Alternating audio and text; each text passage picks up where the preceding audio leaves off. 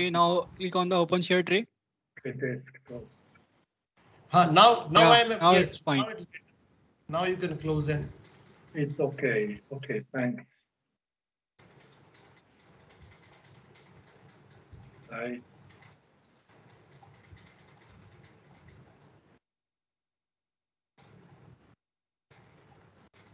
slideshow from current slide.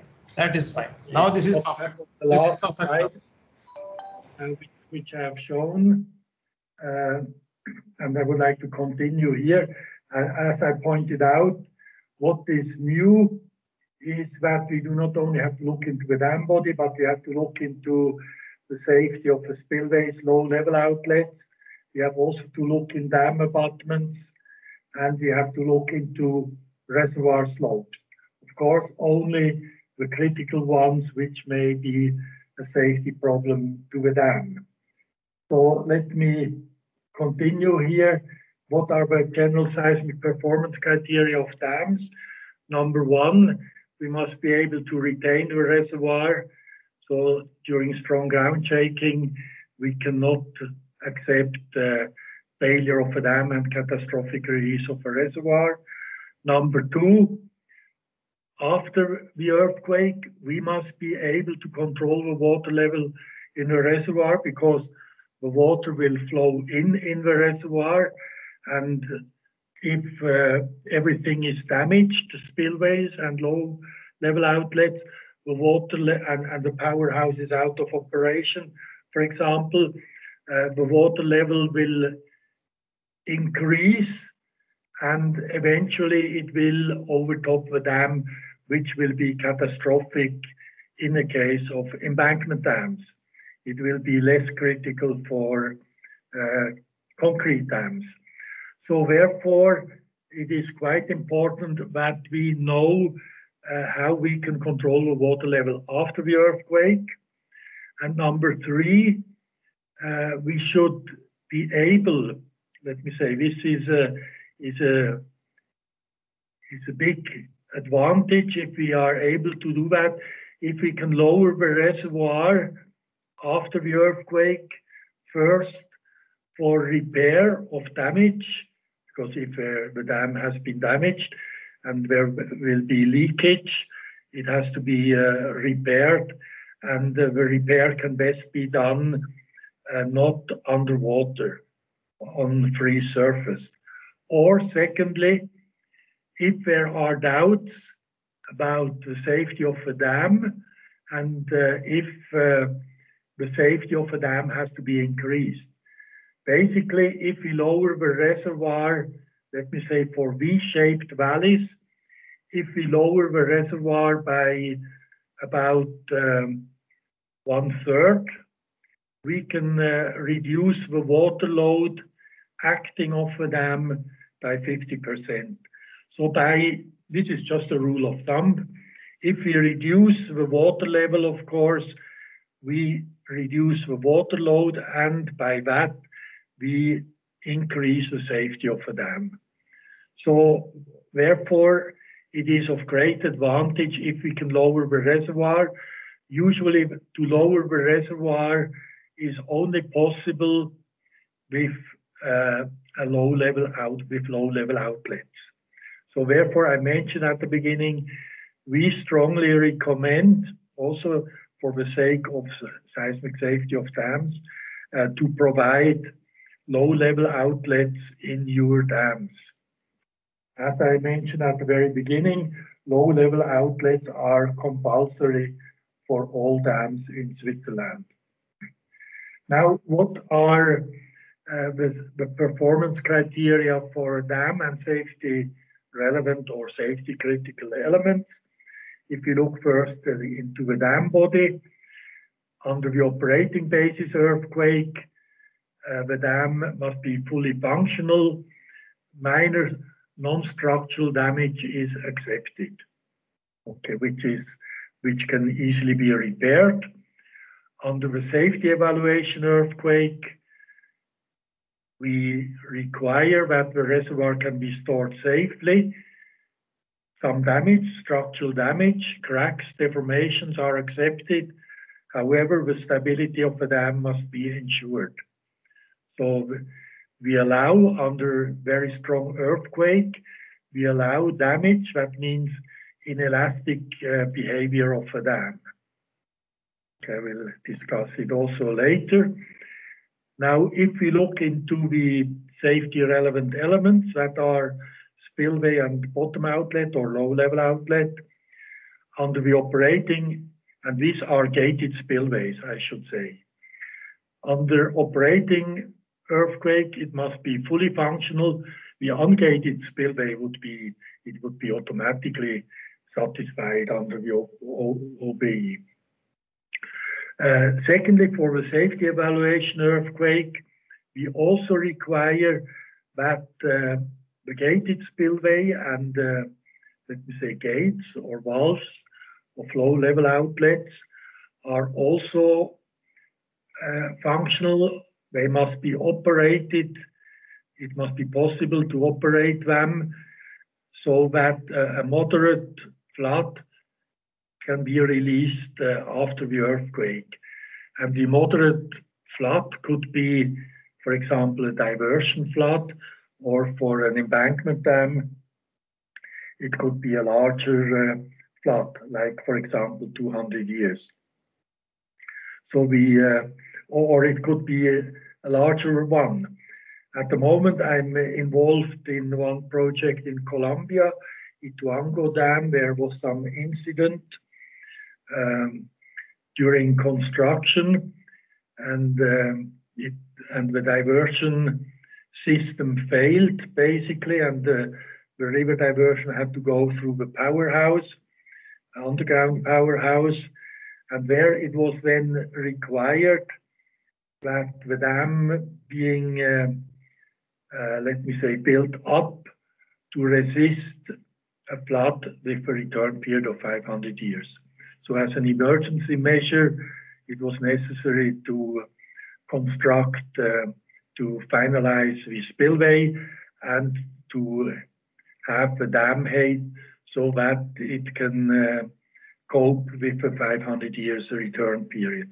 That is for static case, not the seismic, but this gives you an idea about uh, the kind of floods which must be able to be uh, released after a strong earthquake.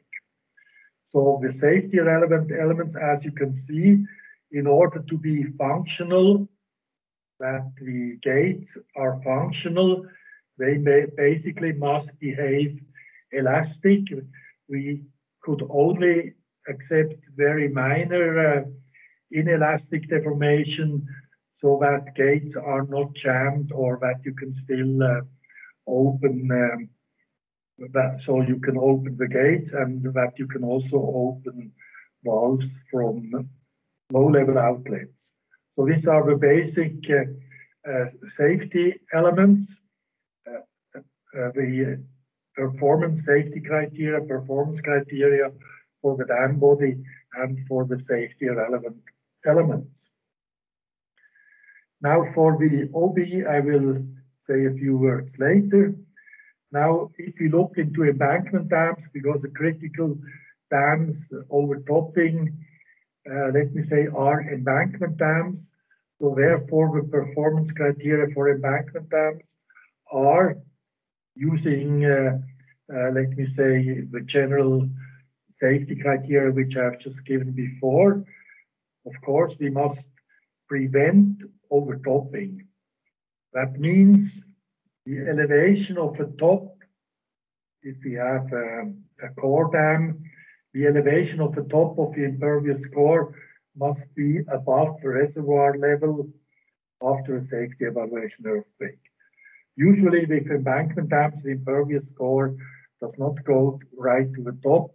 It ends about 60 or centimeter, 100 centimeter below the road across the dam crest. Okay, so the relevant level is the top of the impervious core. Number two, after a safety evaluation earthquake, it must be possible, I mentioned already, to control the reservoir level and to prevent overtopping for a moderate flood. That means a bottom outlet and or the spillway must be functioning. This is mainly a problem for gated spillways. Okay, so this is the to prevent overtopping is a main can uh, be done, can be handled by the spillways and by low level outlets, but that means they are operable after the strongest earthquake considered for, for the dam safety. Number two, prevention of internal erosion. We require that about the filter must be functioning after that safety evaluation earthquake. That means at least 50% of the fine filter width must be available. Because during this earthquake, and uh, you may have some slope failure or, or faulting, uh, your fine sand filter will be offset.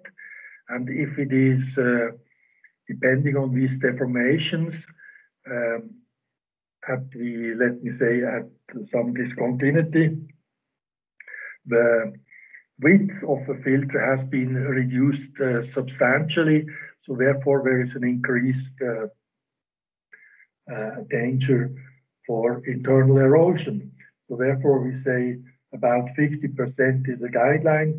In the old times, I must say, the filters were relatively thin, maybe one meter only. Now, nowadays, I would say in rockfill dams, typically we have about three meters width because this is also the width of the lorry. So uh, this filter material can be placed easily. If you have to place it only one meter, uh, it is not, it needs a lot of handwork. It is easy, more easy to uh, have a, a filter width which complies also with the equipment. So typical width would be about three meters. Now, um, a few words about ground shaking, where that is what is considered in all codes.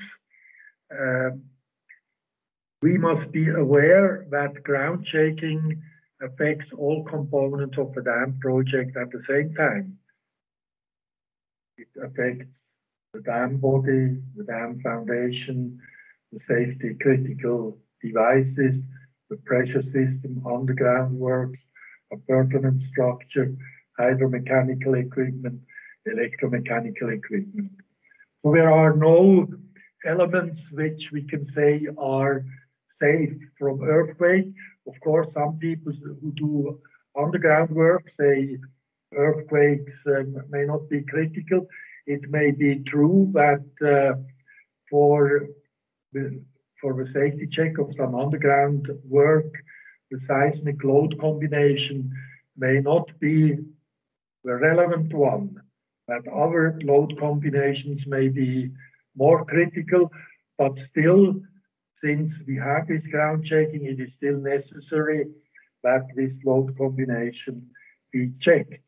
And also, I would say what is maybe new is that hydromechanical and electromechanical equipment uh, uh, if it is safety critical, it has to resist very strong earthquake, which is basically, I must say, uh, not in all design manuals, even like that, like for example, in, in manuals of the US Army Corps of Engineers of hydromechanical equipment, they do not uh, separate the, importance of uh, the different hydromechanical equipment.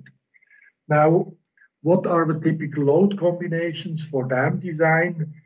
Uh, I must say dam design we still use, as you know, a relatively old uh, concept, which is different from a concept used in building codes, where people use uh, limit state analysis, load and resistance factor design, and so on we in uh, in a dam design we consider three types of load combinations. Number one, usual load combinations, which uh, consist of the main uh, permanent loads, dead load, silt load, temperature loads, and so water loads, and but no earthquake. This is the usual load combination. Then the second type is unusual load combinations, which is a combination of the usual load combinations plus the OBE. We have uh, different safety factors, uh, for example, or performance criteria for these different load combinations. And the last load combination is extreme load combination, which is a, a super a combination of the usual load combination plus the safety evaluation earthquake.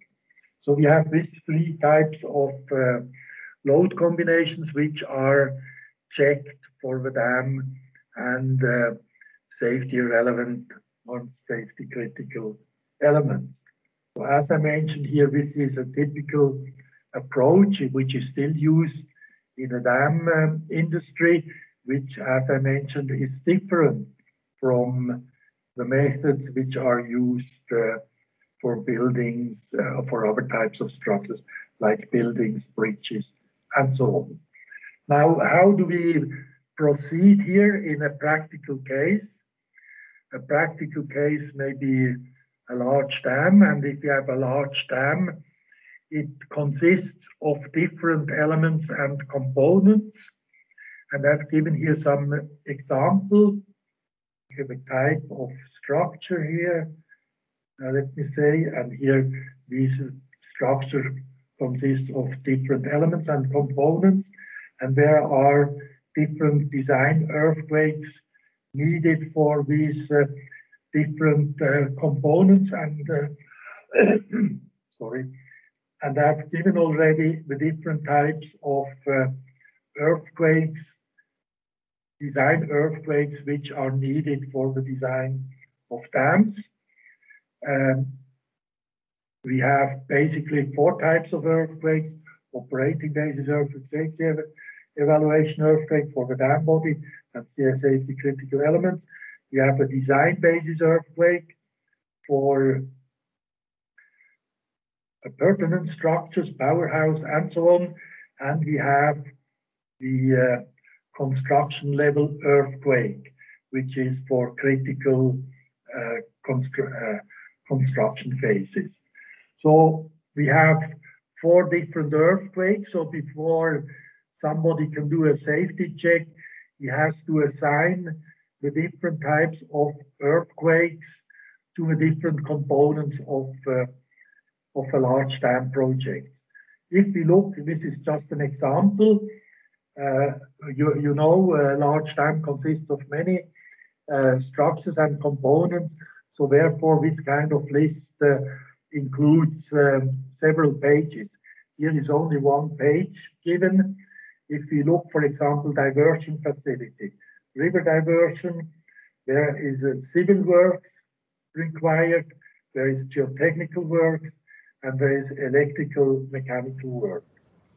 The civil work includes, for example, intake, outlet structures, tunnel, tunnel liner, and if you look at what uh, kind of uh, design earthquake has to be used, it will be construction level earthquake.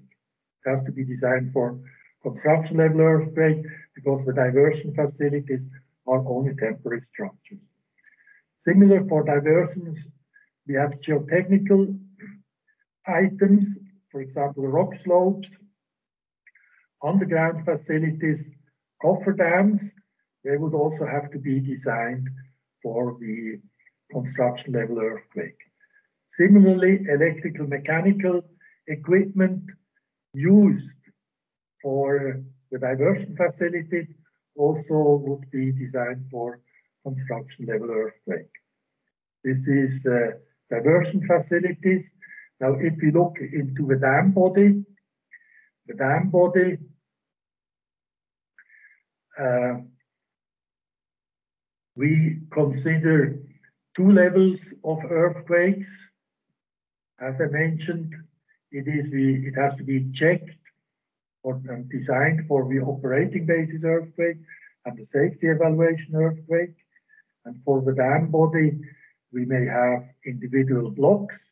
For example, in the case of uh, arch dams, blocks are built uh, differently, so some blocks may be critical. So therefore, there's also some during construction, a certain earthquake would be uh, needed. This is an example from a big arch dam in uh, Turkey. So therefore, for individual blocks, we have not used the construction level earthquake. The construction level earthquake was taken as the OBE in this case. On the crest, we may have a bridge across uh, maybe a crest spillway. So we would use, we would design that for the design basis earthquake. And uh, okay, we may have some cantilevers of the crest spillways and so on, um, which could also be designed for the design basis earthquake. Bottom outlet cantil and cantilevers would also be design basis earthquake, which would not be safety relevant. Now for the foundation and abutments, about abutment wedges, there are some which are safety critical, especially for arch dams. This year example has been an arch dam and other slopes which are not safety critical, which would give only some, um, let me say, landslides without uh, important uh, uh consequences. Important consequences are, of course, those which could damage the dam body and those which could uh, block the intakes of low level outlets. So those would have to be designed for uh, for the OB and SE. The others we would only check for the design basis earthquake. Okay, main gate and valves. We would check it also for uh, safety operating basis earthquake and safety evaluation earthquake. But if they are not safety critical, they would be designed for the design basis earthquake. Okay, guard gates, for example, would be design basis earthquake, operating equipment, there are different types, would be for the safety evaluation earthquake, but some only for the uh, design basis earthquake, and some electrical mechanical equipment essential parts could be design basis earthquake, but others which are, for example, emergency power supply or uh, bottom outlets, they would also have to be designed for safety evaluation earthquake. So if you start with one project, this is for, for design, for designers, you would first uh, prepare such a list with all components and you would assign the type of earthquake action which has to be considered in the design because there will be different units or, or different engineers or groups who, who will do the corresponding designs. But it must be, it must follow uh, a logical, let me say, uh, a concept which takes into account the safety criteria which I have just mentioned in the previous uh, slides. So typically for any dam project, you would have to prepare such a list. And before you do, you start with the design of a dam, you should have this list approved by the authorities and by the owners. Otherwise, if somebody is changing, let me say, the safety requirement from here to here, it has financial consequences, but it has also some consequences for the designer that he has to do the design twice. And that is not in the interest of consultants, and I have been a consultant. So therefore, we have to be sure that uh, the types of earthquake actions which different parts of a big dam project uh, will have to resist has to be defined at the very beginning. This is a part of the design criteria. It is, I would say, this is very important for designers. And as you can see, if you have large dam projects, you have really different types of earthquakes. You have to deal with four types of earthquakes.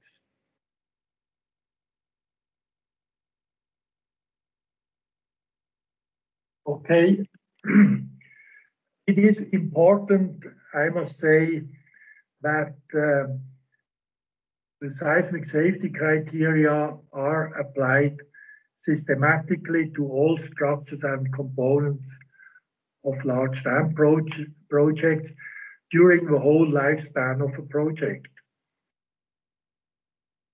Okay, you, you have to, to look all possible phases. It is also important to note that many seismic design codes and recommendations and guidelines are mainly concerned with new dams.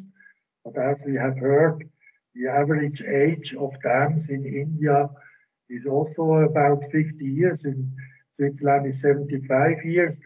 So, uh, in, for example, in Switzerland, we are not building new dams or, or we, are building only very few new dams, but uh, the existing dams uh, must uh, satisfy still the current uh, safety criteria. So therefore, a main concern or question is, what is about the earthquake safety of existing, that means older dams. This will be discussed in our presentation in a workshop number four. But I can say already here that during also uh, dams are designed once at the beginning against earthquakes that during the long lifespan of a dam, which can be I have shown at the beginning, a dam in uh, in Switzerland, which will be 150 years old next year, the, the dams can have a lifespan of several hundred years, and I understand you have you have some embankment dams in India uh, and also in Sri Lanka, which are already thousand years old. So therefore, if you want to use these dams still today, basically they must uh, satisfy today's safety criteria, and that means that their safety has to be uh, uh, checked periodically. And I have also mentioned last time uh, there are a number of uh, reasons why such a safety check is required. It is not just because you have, uh, let me say, uh, I mean, new information about the seismic hazard, but you may also have new seismic safety criteria or the risk of your dam may have increased.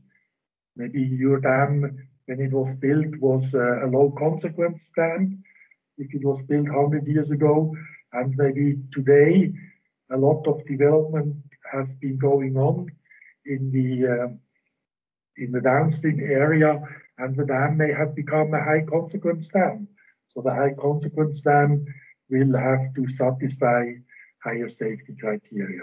So it is not just a, new uh, uh information about the seismic hazard, but it is also uh, the, say, uh, uh, the, the safety criteria which may change as a function of time. So therefore, several safe seismic safety checks may be required. We feel, I must say, if no seismic design safety criteria are introduced, it may be sufficient to do uh, a safety check every 20, 30, or 40 years. You do not have to do it every year or every five years, or you have to do it if your, uh, let me say, seismic hazard has increased by 10% or 20%. yeah, there is no urgency to do uh, a seismic safety check. So, so you do not have to do it uh, annually. You rather think of periods of 20, 30, 40 years, or in a case where a strong earthquake may have occurred, so you which has damaged dams. So in this case, you may also perform such seismic safety checks. But the important point is what you have built once and what you have designed once against earthquakes will not remain safe forever. So you really have to check that it satisfies today's safety criteria. That is the issue here. Okay, now what are the seismic hazard and design ground motion parameters uh, to be uh, uh, considered? I would like to say here a few words about that. I would just uh, give some, uh, let me say, some, some measurements. Basically, there is a, a lot of measurements uh, available from Japan. It's an earthquake September 20, 2003, almost 20 years ago. There have been uh, uh, several dams which have been close to this earthquake with epicentral distance. You see here 100 kilometers and so and more. But the peak ground acceleration, as you can see, which was measured near these dams, is 0.7 G 0.2, 0.3, and so on. So the peak ground, the peak ground accelerations are quite large. Okay, this is north-south, this is east-west. We have even 0.87 G. What I want to show here, okay, vertical component is here much less, only 0.2. Uh, we can have quite high accelerations at dam sites, which may be caused by strong earthquakes, which are quite high. Okay, it is here the epicentral distance, which is given, but if you have strong earthquakes, we will have rupture of faults over a long uh, distance or surface. So therefore, it is not necessarily the epicentral distance, which is critical, but it is basically the distance uh, to the uh, fault surface, which is uh, governing, because here, as you see, we have quite large epicentral distance, but the distance to a fault may be much smaller.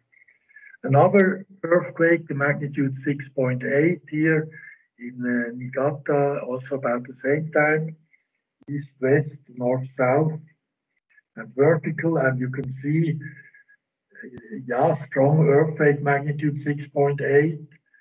People have measured 1.8 G, 1.7. Okay, it is not at dam site, it is just at some seismic station.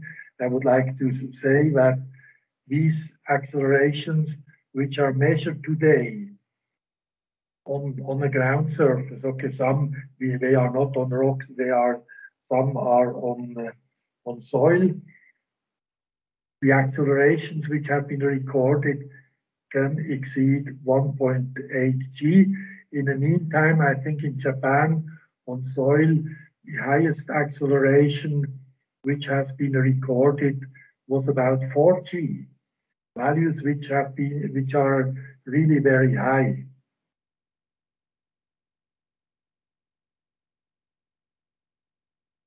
Now, okay, this is just to give an overview that uh, that the dams can experience very high peak ground accelerations, but the peak ground acceleration, of course, is not, uh, uh, let me say, the main factor which contributes to the damage of a dam.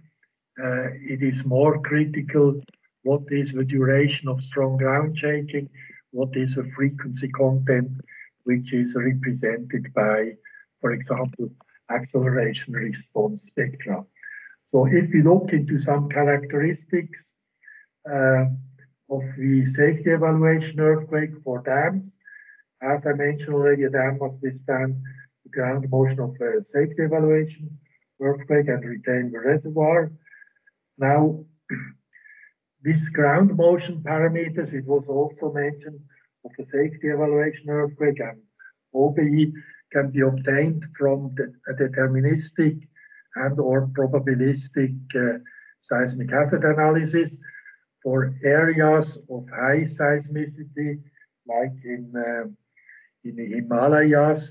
Uh, we would recommend to use both a, a probabilistic and deterministic seismic hazard analysis because you know the main faults which contribute uh, to the seismic hazard to your project. In Switzerland or Central Europe, let me say the active faults are not really known well. So therefore, um, in the seismic hazard analysis, people are basically doing a probabilistic seismic hazard analysis. Because the information on the faults, because strong faults have been active only thousand or longer years ago, and there are maybe the, the surface traces are not clearly visible as in the case of uh, highly seismic active region. So uh, now if we look into the deterministic analysis, we also call it maximum credible earthquake, which is a worst case earthquake scenario. The ground motion parameters are represented by what one question was asked with respect to reservoir trigger seismicity is the same. We, we should use, we recommend, ICOLD recommends to use 84% percentile values of the ground motion parameters. And in a deterministic analysis, we use the critical earthquake scenario or worst case earthquake scenario, which is usually independent of any return period. That is a present uh, state based on some uh, seismotectonic study. Some earth scientists define the active faults or potentially active faults and the fault length. And based on these parameters and also earthquake mechanism and other earthquake parameters, and based on that, an estimate could be made on the maximum magnitude which is possible along that fault. And then using standard attenuation laws which have been published mainly in the US, so-called NGA 2 West 2 attenuation laws uh, are used to estimate the ground motion at the dam site for this uh, specific uh, worst case earthquake scenarios. So you may consider different earthquake scenarios. I would like to mention uh, in, uh, for example, in Chile, uh, we have on one hand, we have so-called crustal earthquakes, which uh, have, uh, let me say, moderate to large uh, magnitudes, but with depths in the range of 10 to 20 kilometers. And we have so-called subduction earthquakes, which could have magnitudes of 8.5 uh, to 9, but which are at greater depth and greater distance. So so therefore, typical uh, as uh, worst case scenarios would be a crustal earthquake, which would be closer to the dam site, and there would be a smaller magnitude, and there would be the subduction earthquake, large magnitude at greater distance, but which would have uh, a long duration. long duration of strong ground shaking. So that is how we, I would say, usually two, two or three uh, uh, worst case scenarios would be enough for a dam project. And the second method is a probabilistic analysis. In a probabilistic seismic hazard analysis, you will determine what we call the maximum design earthquake, which for uh, large dams, the return period, according to ICOLD recommendation, is 10,000 years. But as we have heard during the discussion here in India, in some parts, uh, you, you think about uh, 2,500 years. So that is also the case in, in Turkey. I don't know if it is really a good idea if you are looking for financing of your project or international financing, then these international, uh, uh, let me say, lenders may ask that uh, you comply, for example, with international guidelines. That could be ICOLD guidelines, and they specify 10,000 years. So therefore, in order to get to be able to get this funding, you would also have to check for this 10,000 years. Otherwise, you may have some difficulty. Also, locally, you may only, the, the Indian code, for example, could focus, for example, on 2,500 years return period.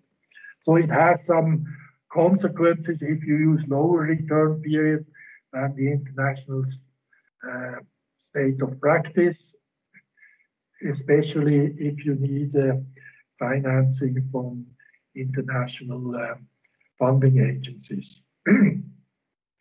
now, which are the seismic parameters needed by dam engineers? From seismic hazard analysis, they are usually the peak ground acceleration.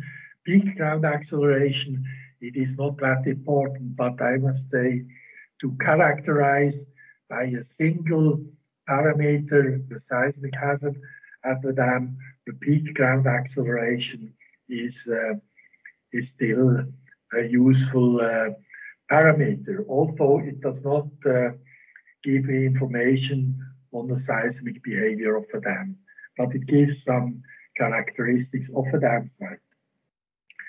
More uh, realistic or more representative, however, is the acceleration response spectrum. Usually, response uh, acceleration response spectra obtained from seismic hazard analysis are established for a reference damping ratio of 5%. This is only a reference. I mentioned already some of the dams may have damping ratio of 7% or 10%, but this is simply to characterize the ground motion at the dam site. So it is given for 5% damping. It has nothing to do at this time with the damping of a dam, but it was in this 5% was basically introduced in connection when this response spectra were introduced in the 1960s, where it was assumed that buildings have typically 5% damping. But acceleration response spectra, there is a method of analysis which is called response spectrum analysis, which basically can only be applied to linear elastic structures with what we call proportional damping. But as I have pointed out with the performance criteria of the dam body, we uh, allow some inelastic deformations. I would say elastic deformations we basically allow in uh, spillway gates and uh, valves of low level outlet. So therefore the acceleration spectra could actually be used because we specify linear elastic behavior of these component. Whereas for the dam body, if you have a strong earthquakes, and in the Himalayas you easily get uh, accelerations as you have heard large 1.5 G, you will have some uh, nonlinear effects, you will have some cracks, some inelastic deformations, and that would require a nonlinear dynamic analysis.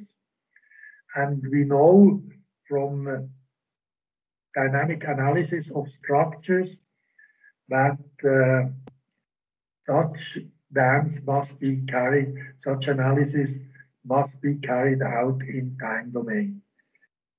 There is no other way we can deal with uh, inelastic, with the calculation, computation of inelastic deformations.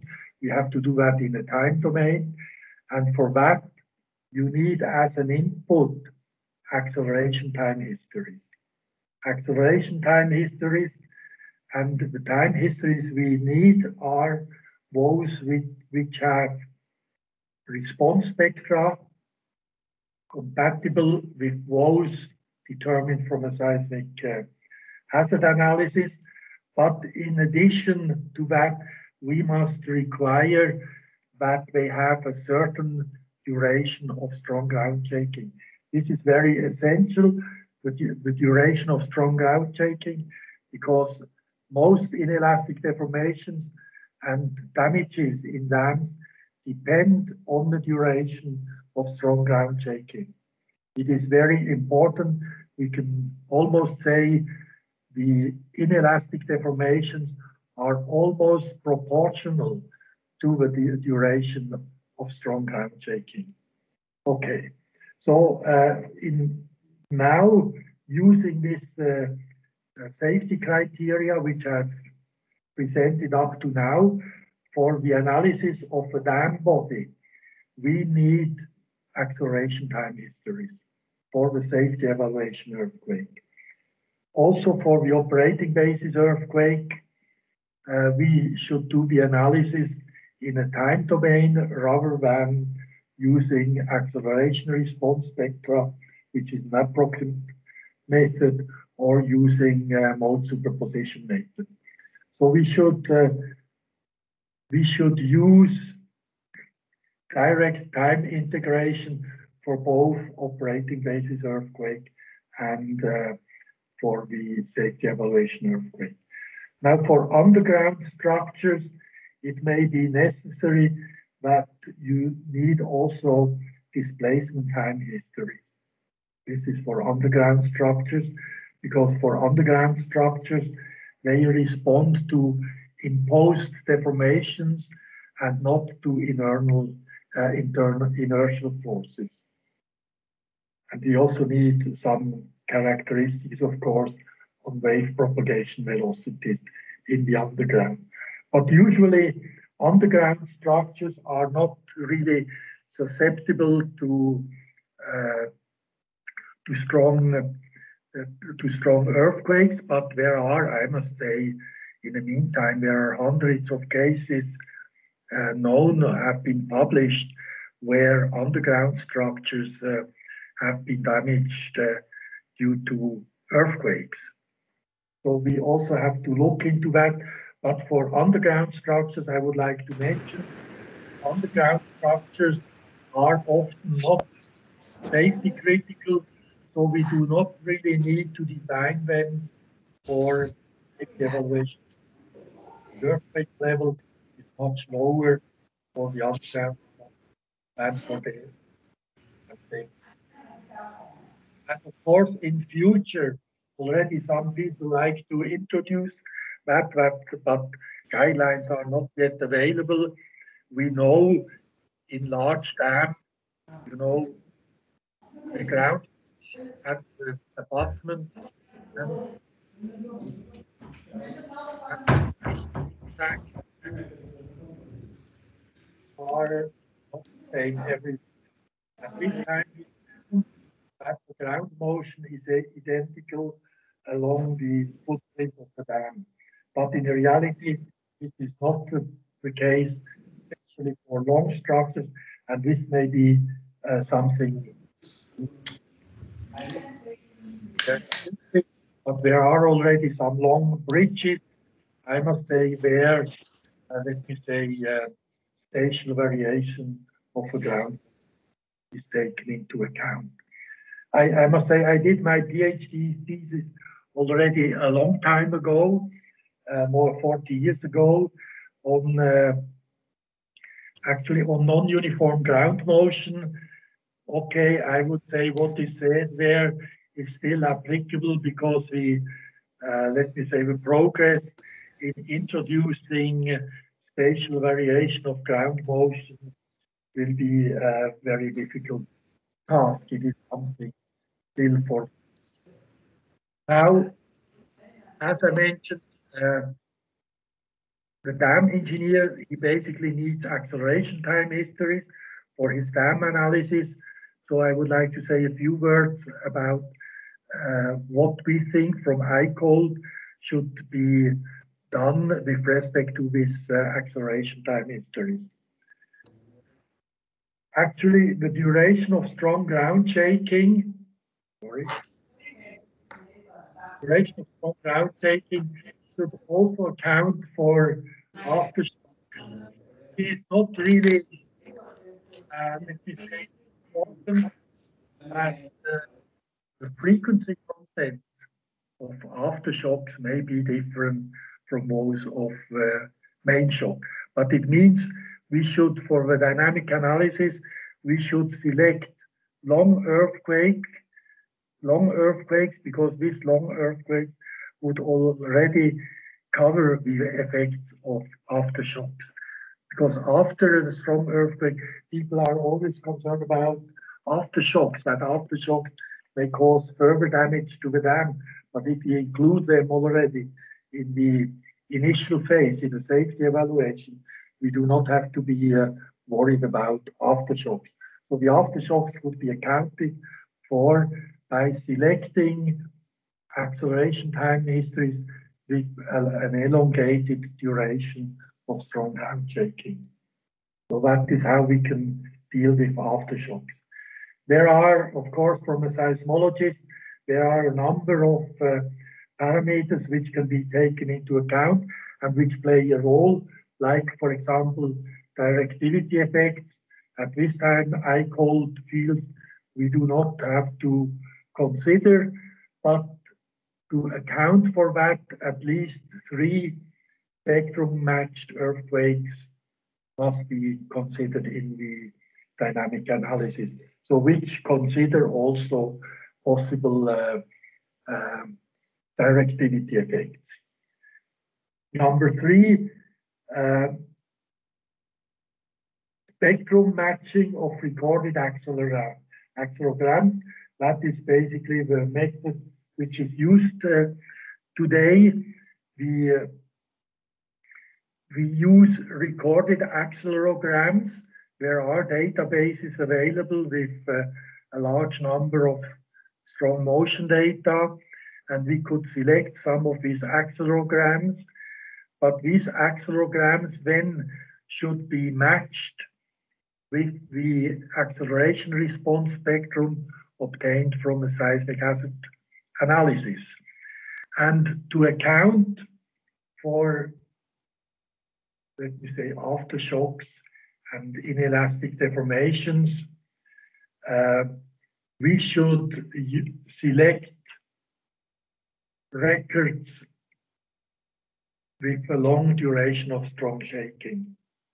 For example, Eurocode 8 uh, in Europe uh, uh, specifies if you use uh, time history analysis, the duration of strong ground shaking, and it is defined where as so-called plateau level should be at least 10 seconds.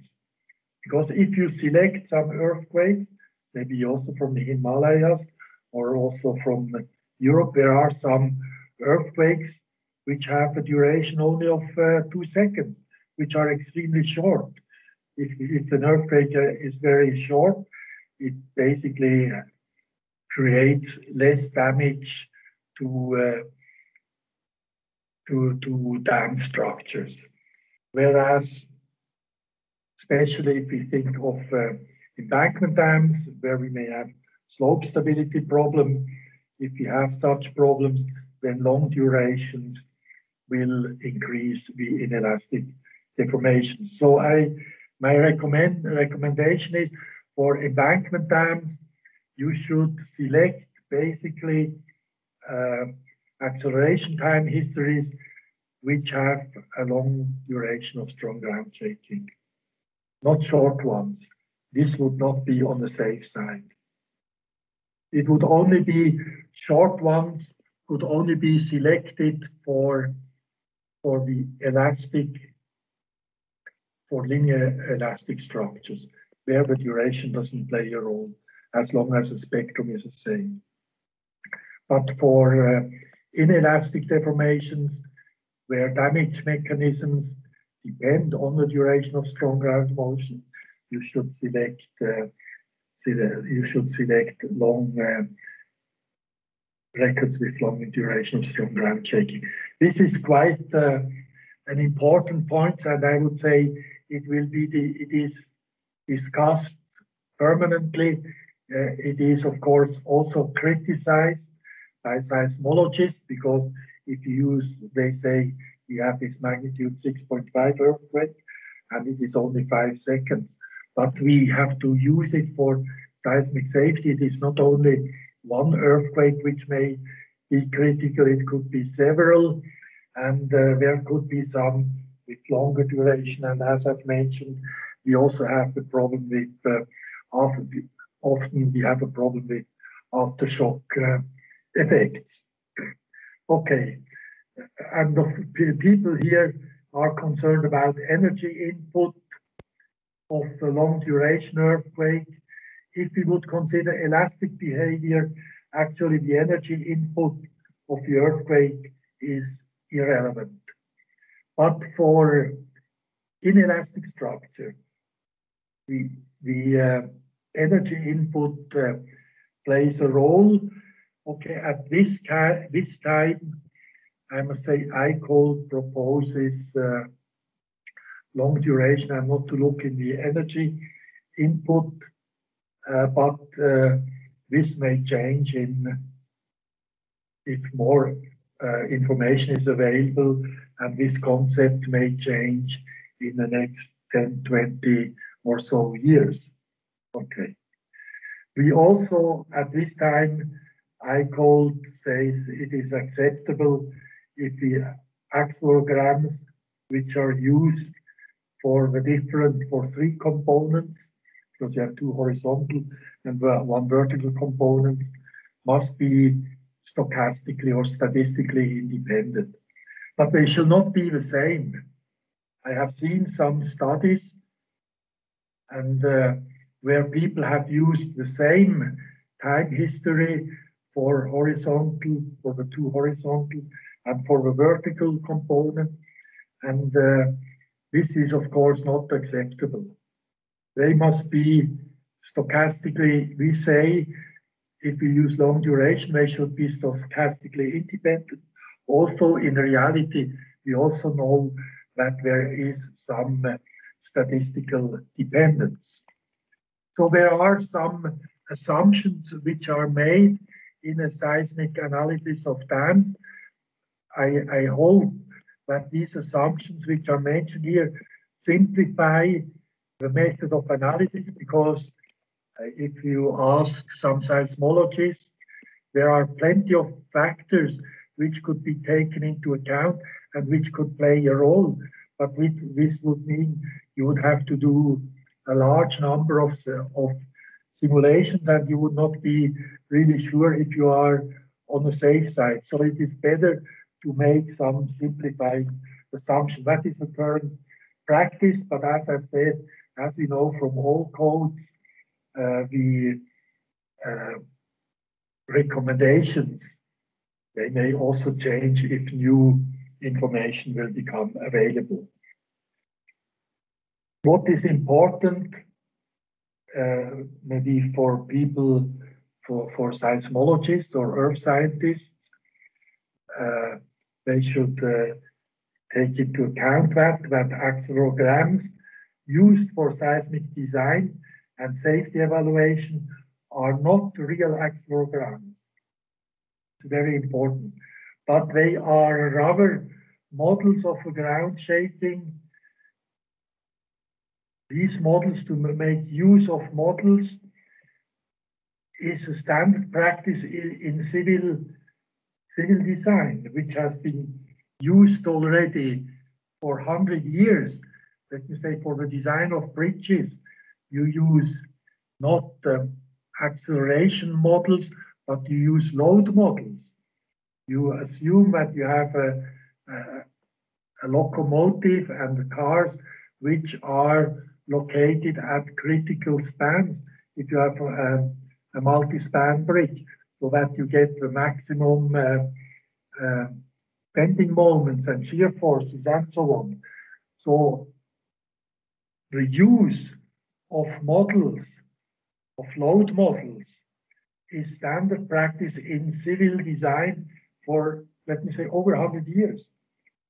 And what is now here, it is not a load model, but it is a model of a ground motion, which is analogous to load models.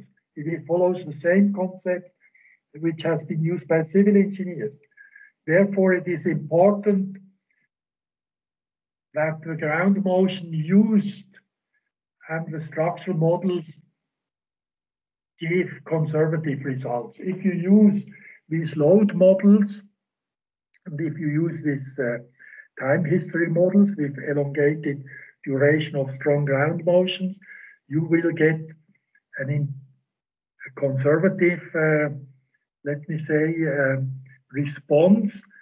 And um, I must say, it gives a conservative assessment of the seismic safety of a dam.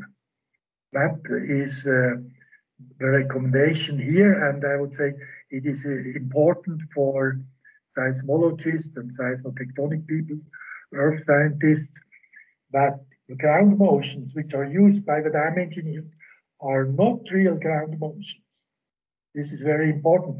And people have very difficulty, great difficulties in understanding that.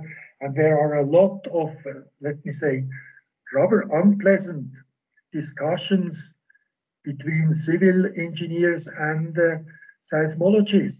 But it is clear that the seismologists are not the dam engineers. The civil engineers are basically responsible for the safety of the dam, and basically they have to tell the seismologists what kind of ground motions they need for their design and safety evaluation. It is, it is very important, it's a key issue. Sometimes it happens that seismologists tell them how you have to design your dam. Therefore, if somebody says he uh, provides uh, um, the seismic hazard only for return periods of 2,500 years, it could be that the seismologist says, I cannot provide you the, the ground motion for 10,000 years because 2,500 years has been the, the standard practice. We always have to be careful if we hear such kind of statement. It cannot be that the seismologists or the seismic hazard uh, experts are telling the dam engineer what kind of uh, ground motion he has to consider and what kind of return period. It is a wrong approach. You, you must be very careful, and there is a trend to be like that if somebody talks about 2,500 years, it comes from the US because there are a lot of seismic hazard maps which have been prepared for 2,500 years, and nobody prepared their maps for 10,000 years. Okay, so now uh, how do we do this? Uh, how do we select this acceleration time histories? Um, I mentioned we use different time histories. Standard practice today is to use uh, recorded time histories. You could also use uh, artificially generated, but uh, most dam owners, they feel more comfortable with, uh, let me say, recorded accelerograms. But in Switzerland, for the dam safety, all checks are being done by artificially generated uh, which are not recorded. Okay, but uh, I, I must say there is people feel more confident using uh, recorded accelerograms. So therefore you should use some which have a longer duration of strong ground shaking, which would be about this duration here. It's about, is only 10%, is uh, uh, 10 seconds is not long. This here does not play any much role on the dynamic response. Okay, this is a recorded one. Now from a seismic hazard analysis, you have a response spectrum, and if you fit, there are some methods, wavelet theory, and so on, the Fourier spectrum, you can match the spectrum here, you can modify the ground motion that it matches the acceleration response spectrum obtained from a seismic hazard analysis. And this here is now how such a scale, how a modified acceleration time history looks like, which fits a given spectrum obtained from a seismic hazard analysis. Now, if we look into a spectrum, this the black line shows the spectrum acceleration response spectrum obtained from a seismic hazard analysis, from a probabilistic seismic hazard analysis or a deterministic seismic hazard analysis. And if you select some ground motion, recorded ground motion, the spectrum will be very different from the uh, from that one which is obtained from a seismic hazard analysis. It is a blue one here. Blue one shows the top spec the spectrum of this ground motion is recorded. But we need that this ground motion fits this spectrum and the red points show basically off there are uh, methods how we can fit ground motion and you can see we can obtain quite a good fit over the whole uh, frequency range. Of course, uh, we, we, are not interested in the whole frequency range. It depends on the eigenfrequency of our dam.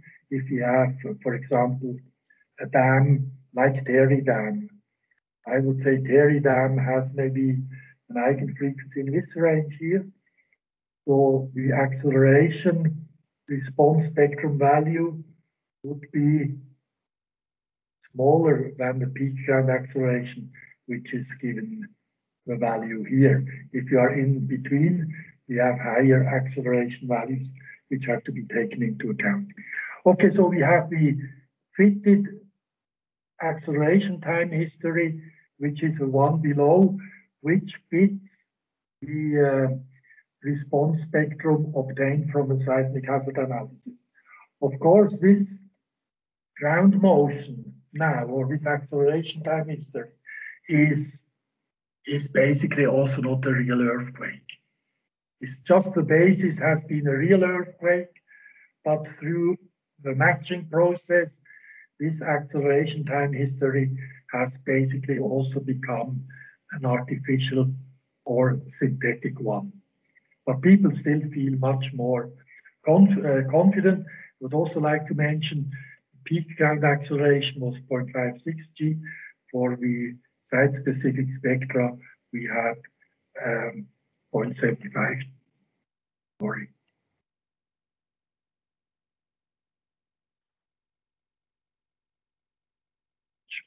Here, basically, the peak ground acceleration from a seismic hazard analysis was 0.75 g was its value. So we have by spectrum matching, we automatically match, of course, also the peak ground acceleration. So that is, uh, uh, let me say, somehow the current state, uh, uh let me say, minimum um, requirement, which is specified in the ICOLD guideline or which can be derived based on the ICOLD guideline. So the discussion of acceleration time history becomes quite central. It becomes, yeah, it, it becomes quite difficult because there are different interpretations by civil engineers and seismologists, earth, earthquake uh, seismologists. Uh, they really want to deal with real earthquakes, but the dam engineer he wants to have this spectrum fitted uh, acceleration time histories. Which at this time I think is the right approach. Now, uh, let me say a few words about seismic design aspects and seismic hazard. I mentioned already it is important. The lifespan of a large dam can be several hundred years. I would say especially embankment dams built from natural material. Therefore, different seismic hazard analysis and seismic safety checks will be performed. This is necessary. I give it as it's just a repetition, but some people still forget about it. When new data are available, the risk classification of dam has changed due to ongoing developments. And third, if new seismic safety and performance criteria have been introduced. Okay, still we see some damage. I think uh, in my first presentation, I've also shown some uh, flood damage of a dam in uh, Germany in mid-July, where, uh, let me say, the flood, the safety flood has been, um, uh, let me say, uh, has never been reviewed, has been underestimated significantly. It is wrong, I would say, if you believe, if you design your dam against earthquakes today, that it is still earthquake safe, it can still be considered earthquake safe in 100 years. This has to be verified. And if it is not verified, some incidents can occur like this uh, overtopping of embankment dam in Germany just, uh, uh I must say, uh, uh, just three, three months ago. It's, it, it is very unfortunate.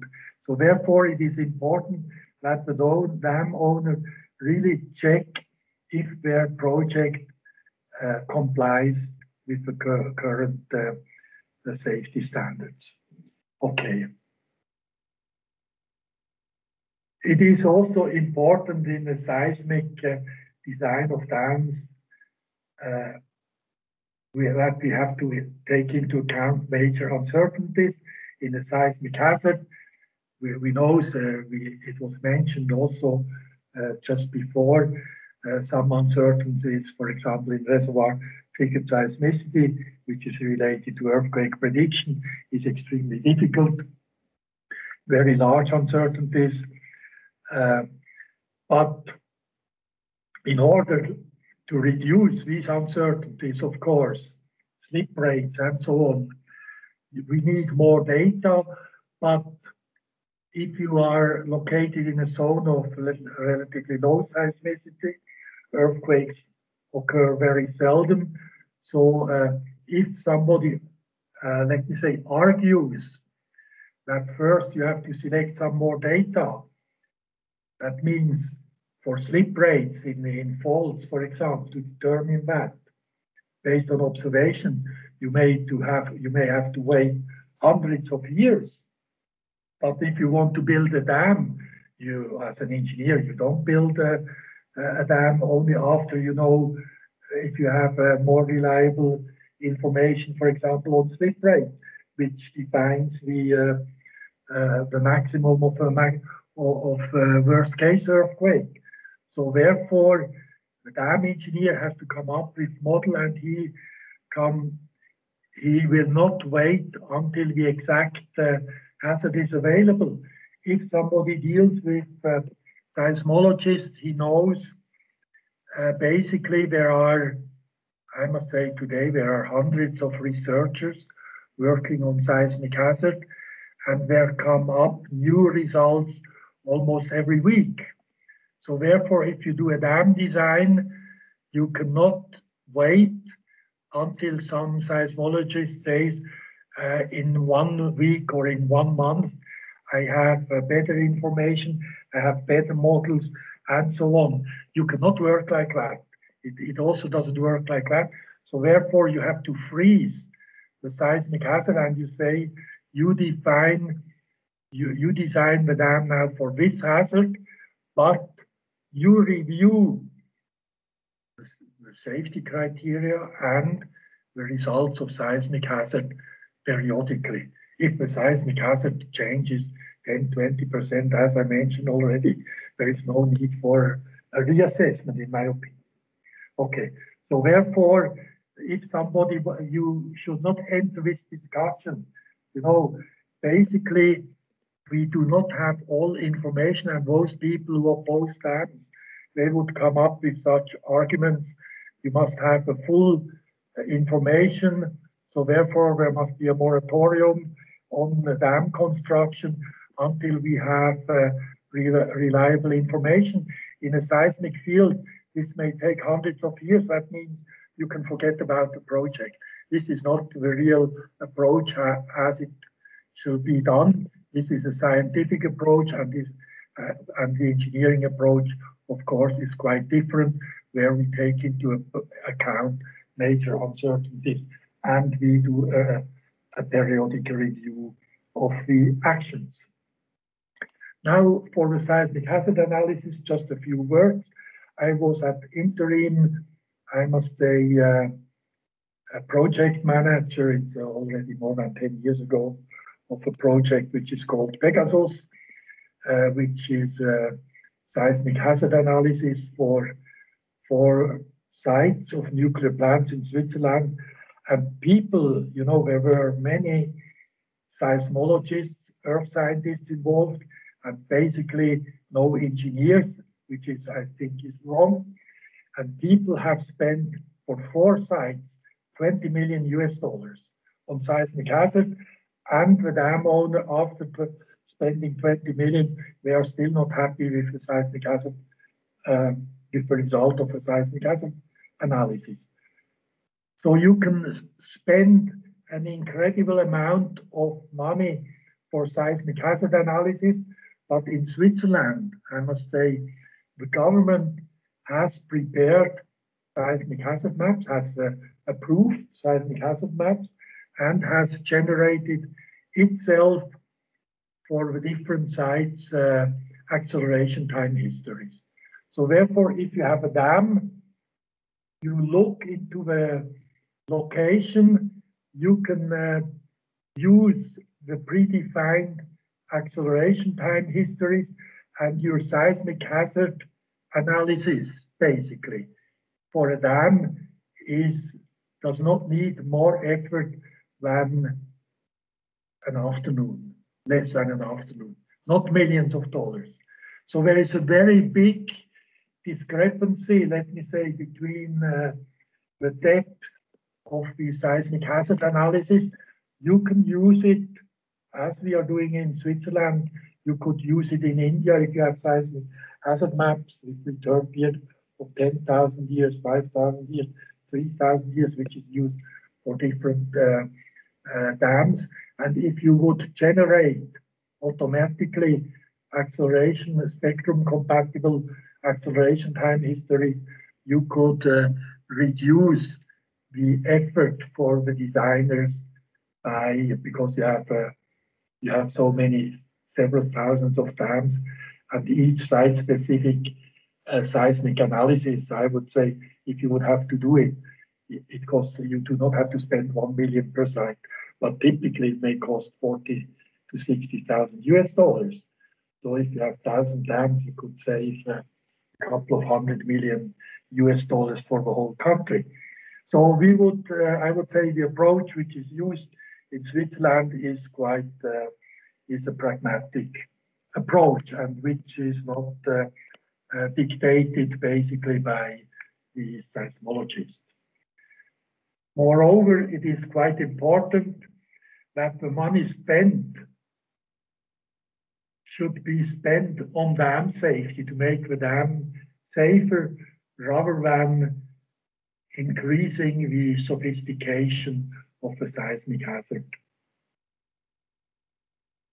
Okay, so rather than spending here 20 million uh, US dollars in Switzerland for the for for this uh, seismic uh, uh, hazard of the nuclear plants, it would have been better invested to spend 20 million uh, dollars for improving actually the safety of these objects, because by improving the seismic hazard, the safety of the project does not yet improve.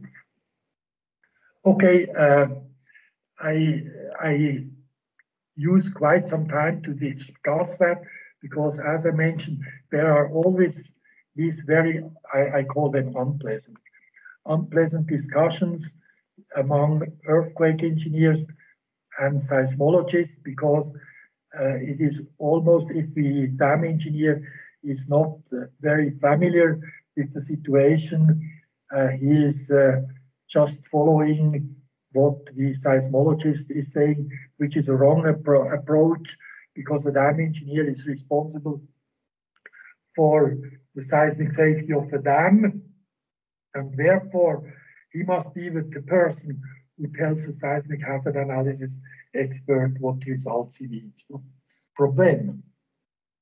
He tells them he needs, for example, return period of two of 10,000 years and not 2,500 years, because 2,500 years is what is uh, uh, provided uh, today in the US uh, and in some other countries, Canada and so on.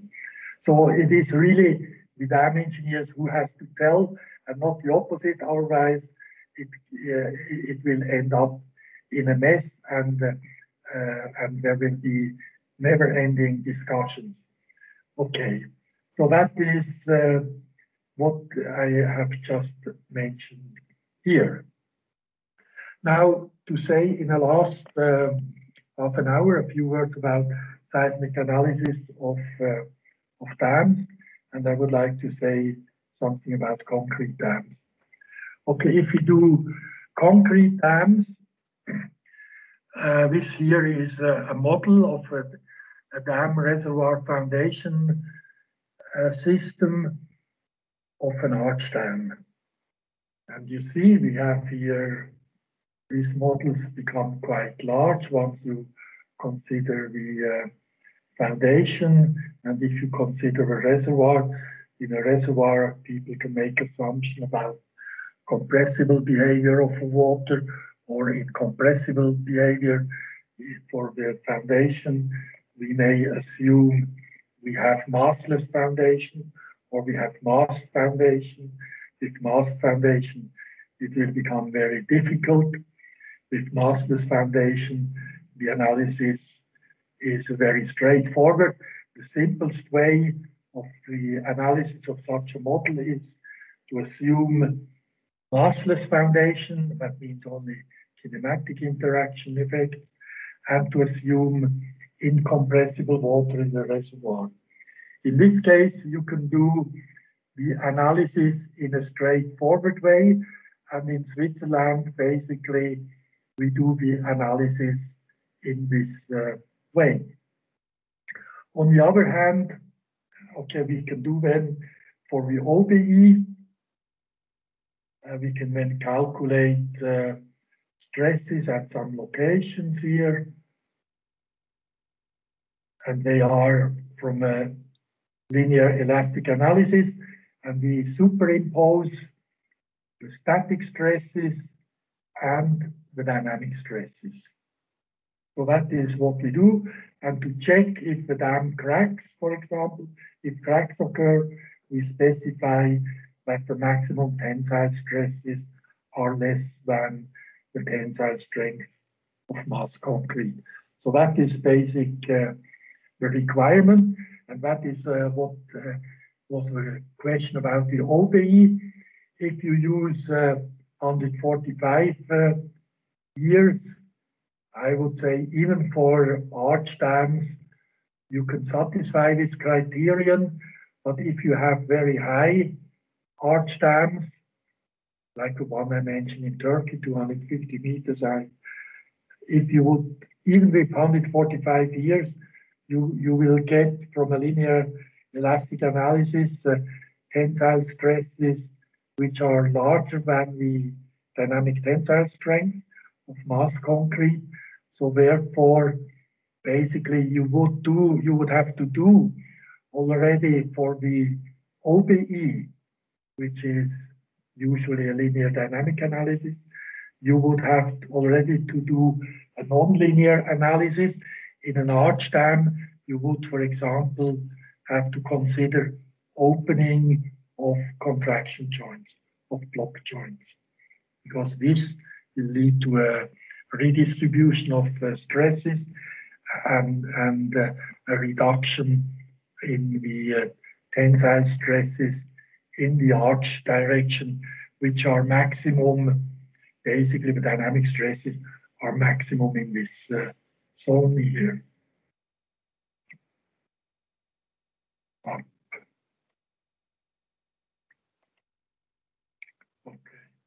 So we do a linear dynamic analysis. This linear dynamic analysis can become very complicated. People have worked on that. I think uh, Professor Chopra from uh, University of California in Berkeley, he has worked a lot on that, on foundation interaction with mass foundation and uh, linear structure you need. And there are other many other researchers who worked on the dynamic interaction with the foundation and the reservoir, but the analysis will become very, very sophisticated, very complicated, and people are really, uh, it is still not really sure what is a proper approach, but it could only be used for the operating basis earthquake, which is not that critical. So because, okay, you have some cracks, the dam will not fail. You will just uh, ensure that the dam owner doesn't have to spend much money in a case some damage may occur. Also on the seismic action, if a joint opens, for example, uh, it will close again after the earthquake. If uh, the water stop, of course, in, in dams, let me say the performance criteria would be that the water stops in a joint will not be damaged during the operating basis earthquake, so that you will not have leakage, for example, after the OBE. So therefore, I, I, I do not think uh, that it is a good idea to increase the uh, return period of the OBE because it has some consequences also then for checking really these uh, performance criteria, which may become very, uh, which would become difficult. So if there is no urgency for that, then I would not go for the long return period. But as I said, you can still do it. Now, if we look in the nonlinear analysis, and this is also from a arch gravity dam in Switzerland, which uh, here we assume that a dam, which is a concrete dam, that the dam is already cracked and we look into the dynamic stability of a dam in a post-cracking phase. We are not investigated the development, the growth of uh, cracks as a function of time, but we consider, we assume, based on some analysis, that the crack is already available and we check if this dam actually exists, if the dam is still safe, because if it is still safe, we are on the safe side. Now, in this case, in this dam, the crack existed already due to alkali aggregate reaction. Crack, or in this case, it was uh, basically a, a sulfate reaction. it. So this, this crack already existed. So therefore the question was, is this cracked dam, which goes from upstream to downstream, is this upper portion of the dam? It is not shown here the lower portion, only the upper portion. Uh, is this dam, the upper portion still safe? And we would like to know if this upper portion is sliding into a reservoir or is overturning. So therefore, we did this analysis, and this analysis is now, uh, let me say, is not a, a, sophisticated finite element analysis, which I've shown for the OBE, but it is basically a rigid body analysis. Once you have a crack and uh, you have seismic effects, then I must say the great majority, 90 or more percent of the deformations of the dam are due to deformations of this crack or of this interface and are not elastic deformations, which may be very small in this part. The main contribution of the dam deformations here will be due to this crack. So therefore it is sufficient if we do a dynamic stability analysis, we could even assume this part to be rigid and to apply the ground motion. The motion is also simplified approach. The motion which has been calculated at this uh, elevation of this uh, dam. So on the ground shaking back and forth, it is rocking in this direction. A few seconds later, it is rocking in this direction and it is also sliding. And after the earthquake here, we know rocking motions, they go back to the initial phase. But the sliding motion is a progressive, is a progressive uh, uh, mechanism. That means every time it is sliding, it is accumulating. It is an additive one. Whereas rocking motion is a reversible. It goes back and forth, and uh, it is not it is not that critical.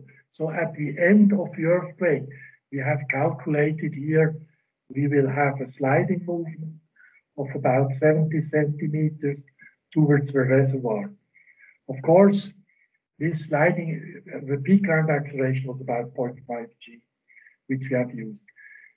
If we have a sliding surface which is inclined, of course, this movement will be relatively large. If we would have a, a horizontal crack, for example, along a, a lift joint, this movement here would become only a fraction of what we obtain for an inclined uh, failure surface. So therefore, it is quite important to have some understanding in a possible direction of a sliding surface. But the dynamic analysis, which is used now for the safety evaluation of this dam, is a much simpler analysis. It is a nonlinear analysis. It's a much simpler analysis than that one used for the OBE, where we do a real uh, linear dynamic analysis. The Swiss government then they accepted this uh, result and this dam is considered as safe for a safety evaluation earthquake. Of course, when the reservoir level is here, we will have some leakage of water in this gallery, maybe also here. So therefore it is necessary if this earthquake occurs that you can lower the reservoir to below the damaged area. Therefore, I say the low level outlet is very important. And of course, afterwards, it has to be checked if this dam can be repaired or what measures have been necessary or if the reservoir level have to be kept at the lower uh, at the lower level to ensure the safety or the dam could be decommissioned. But we could say that based on this analysis, we have inelastic deformations, but the dam does not fail. And that is a basic requirement for the safety evaluation earthquake. It doesn't mean that under the, that the damage caused by the safety evaluation earthquake can be repaired in all cases. So that is some example. And why do we assume this uh, cracks? And I show here once more the same slide. We can see here from the Sefidrut buttress dam in Iran, which was subjected to a magnitude 7.5 earthquake. We have two locations here, crack, crack here, where actually a crack, a horizontal crack developed. Here, fortunately, a horizontal crack developed because of a mode of construction of concrete dams in lift elevations. Today, we use about three meters. Now I've heard in China they used four meters, but at this time we use about, uh, people use two meters. And these lift elevations are called joints, which have lower strength than the, than the, than the mass concrete. So therefore, cracks will basically develop mainly along this lift joint. This we can see here in this example. Okay, you see here a close up. The crack it goes through the whole dam and it is leaking. Okay, water level is uh, only slightly above this crack, so therefore not much water was leaking through this crack. But uh, the important thing is that this crack developed through the whole dam. We do not think that the dam, that cracks have, have only a depth of uh, one meter or two meters. So for the safety check, we should really assume that uh, cracks have fully developed and we should check if uh, detached parts of a dam are still sa uh, safe under a strong earthquake. Okay, I have shown that already. This crack, we see here, the crack is basically, sorry, the crack is basically uh, at the lift elevation here, and it goes through all, all, all blocks. And the water level at the time of the earthquake was probably only here or here probably here. So therefore, the water pressure was relatively low, and as you can see, the crack width is also in the range of millimeters, so there is some water percolating through this crack under small pressure. Okay, I have shown that already. The cracks can be large, but we have some of these wedges here. We also have some cold joints here and here. And one of these wedges, basically it displaced. You can see here, this wedge has moved. So we have this sliding movement. It's not just some something uh, hypothetical. It is real. It can occur, as we can see in this case. But during this strong earthquake, this movement was only 20, about 25 millimeters. But if the earthquake would be much longer, it could be more and it could cause some detrimental effect if this wedge here, triangle wedge, would be moved down. The upper part here would also be affected uh, critically. So based on some uh, observation of the Sefidrut Dam, let me say, we can make some conclusions on our concrete dams because we do not have any similar information on the behavior of concrete dams. We have only information on the behavior of dams which were tested in uh, in shaking tables, on shaking tables. But here, okay, we had a crack developing like that, and there was this wedge which I've shown. There was a crack here, so this wedge was separated and it was deformed. It was sliding about 25 millimeters. But this is Sefidrut dam is about 106 meters high. Now, if we do sliding, usually people look into the sliding uh, stability of dams. There are different, uh, uh, let me say, uh, rigid body uh, sliding uh, surfaces here, depending on the foundation contact. Of course, this is, is unfavorable here. If it is inclined like that, it's better to have it in this way or in the, in the foundation.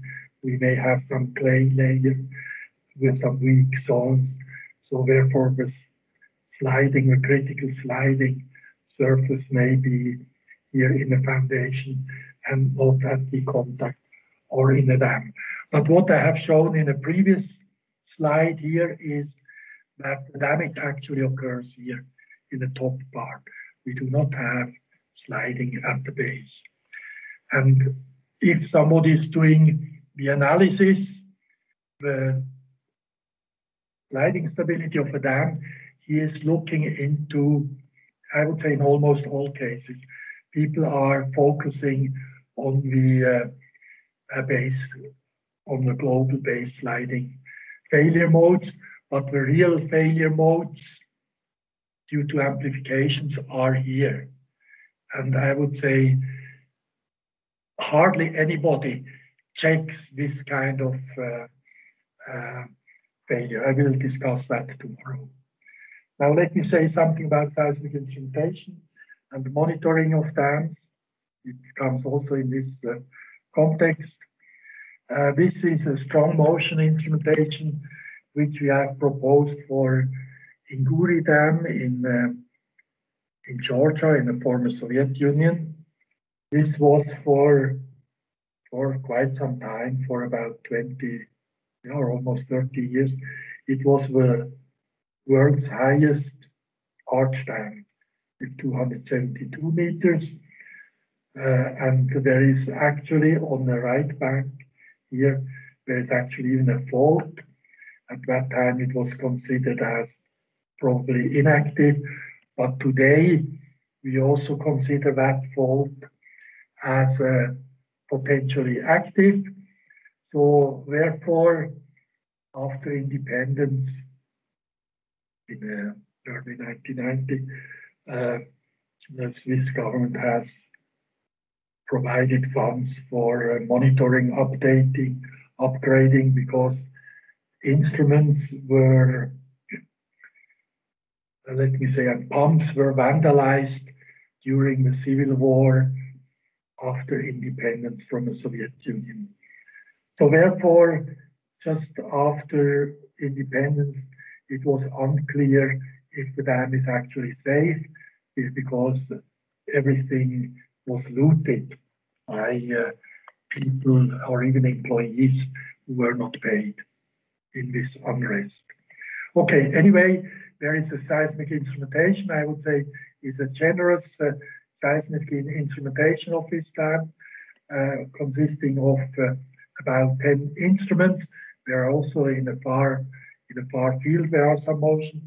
And once you have such many instruments, it is possible to do a reanalysis of a dam if uh, an earthquake occurs. But today, the standard practice, I will just say that. Okay, this shows this dam is a Inguri arch dam. As I said, it was you see, we have here a so-called peripheral joint, or we see it in the previous one. This is a peripheral joint for this arch dam. A peripheral joint is provided to give a more symmetric shape of the arch dam. This is a concrete saddle here, like it's an extension of the abutment. So therefore, uh, it is the uh, let me say, a, a, more uniform stress state, seismic stress state under earthquakes can be achieved by uh, a kind of uh, symmetric uh, shape of a dam. But this, let me say, peripheral joint concept is introduced by Italian. It is has been used only. It is not used anymore It also allows to cope with tensile stresses along this uh, along the abutment. We have tensile stresses due to water load and also seismically. So therefore, this peripheral joint could slightly move. This is a low tension joint. Okay, so this shows this uh, Inguri arch dam. It looks uh, okay.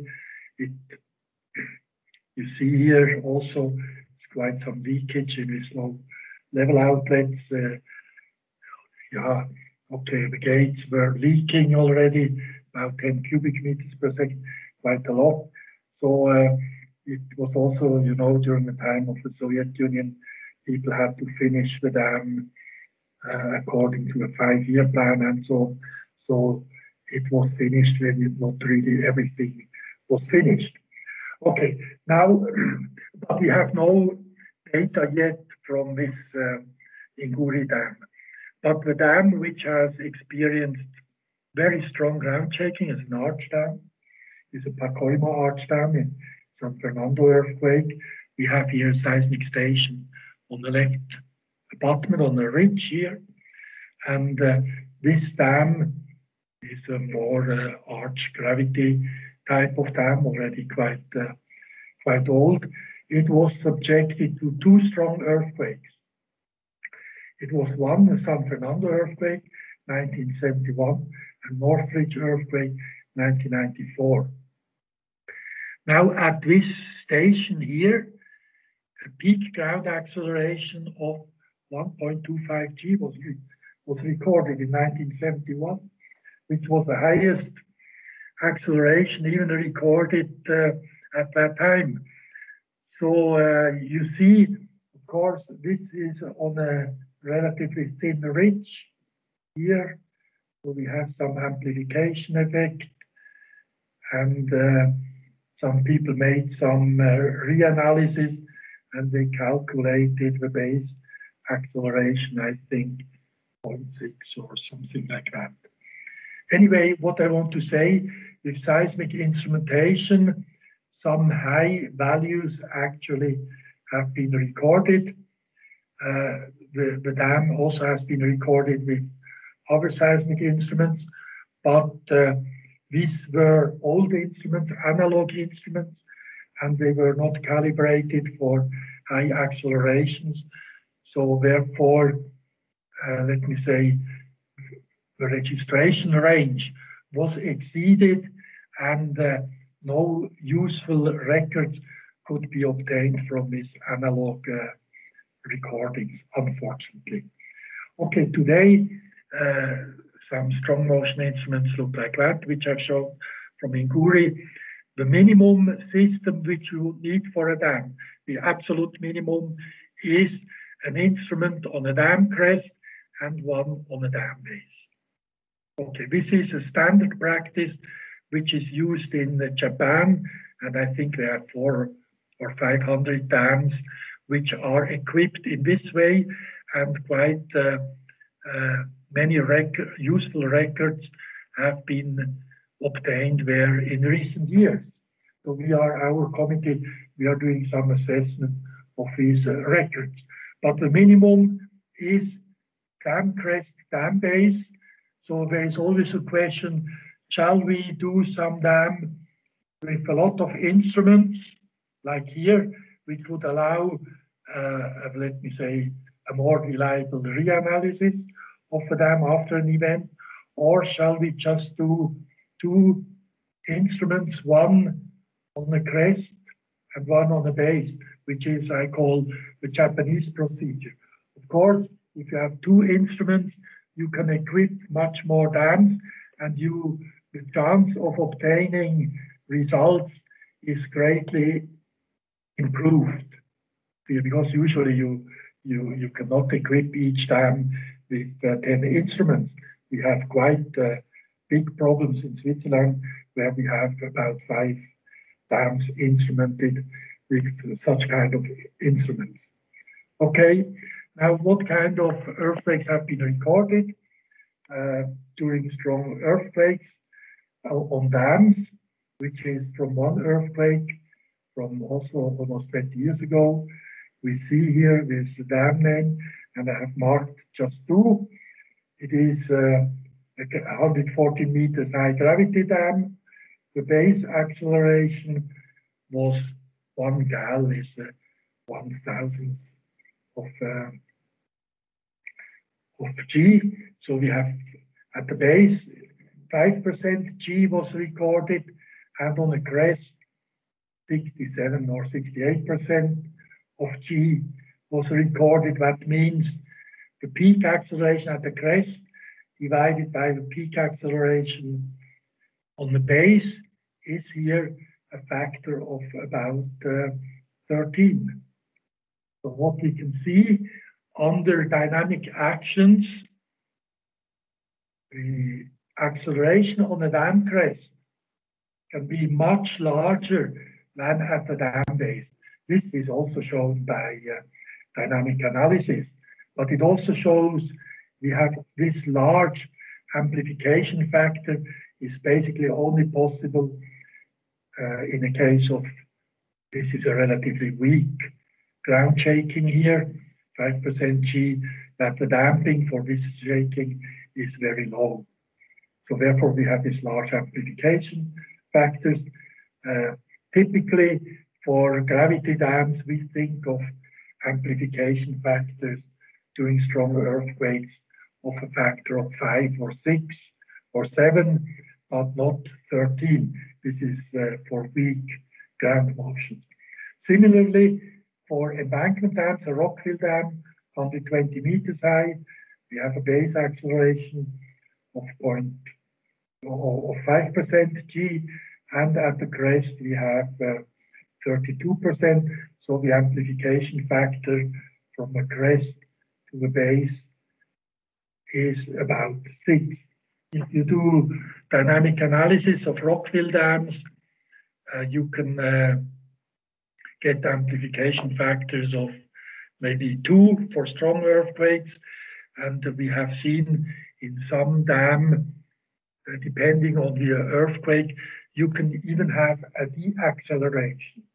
I've shown at the very beginning, depending on the frequency ratio, single degree of freedom oscillator, in some range, if the frequency of your dam is very low, you can have actually a de-amplification. But this gives you some, uh, some idea about measurements that we can have amplification of a ground motion from the base to the crest.